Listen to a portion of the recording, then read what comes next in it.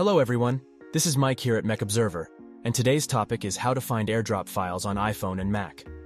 One of the easiest and quickest ways of sharing files on iPhone or Mac is via AirDrop. If you're still unaware, AirDrop is Apple's way of enabling users to wirelessly send files and photos across devices. AirDrop transfers files or photos using Bluetooth. Hence, when you're sending them to somebody else, you and the recipient must be within Bluetooth range. Now one question many folks ask is where exactly AirDrop files or photos go on the iPhone and Mac. This video will explain how to find AirDrop files on iPhone and Mac, as well as answer the perennial question, where are AirDrop files saved? How to enable AirDrop on iPhone and Mac. In case you haven't done so yet, you need to enable AirDrop first on your devices to be able to send files or photos, or receive them from somebody else. Follow the steps below to enable AirDrop on your Mac and also on your iPhone. It's the same process.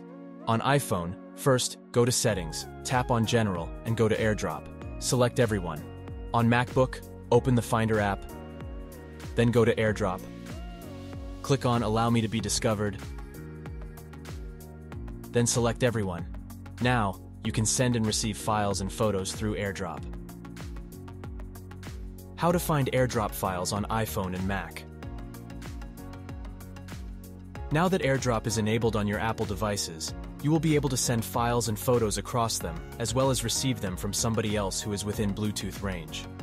Once you receive files or photos on your iPhone, it will open them using the apps that match them. So if you receive a photo, your iPhone will automatically open the Photos app. So for those who are asking where AirDrop files go on iPhone, there's your answer. Now two questions Mac owners who use AirDrop ask are, where do AirDrop files go on Mac? And why can't I find AirDrop on my Mac? So here's your answer.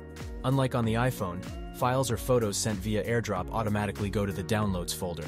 So, after accepting the file, when you want to view the files or photos later on, you can find them in the Downloads folder.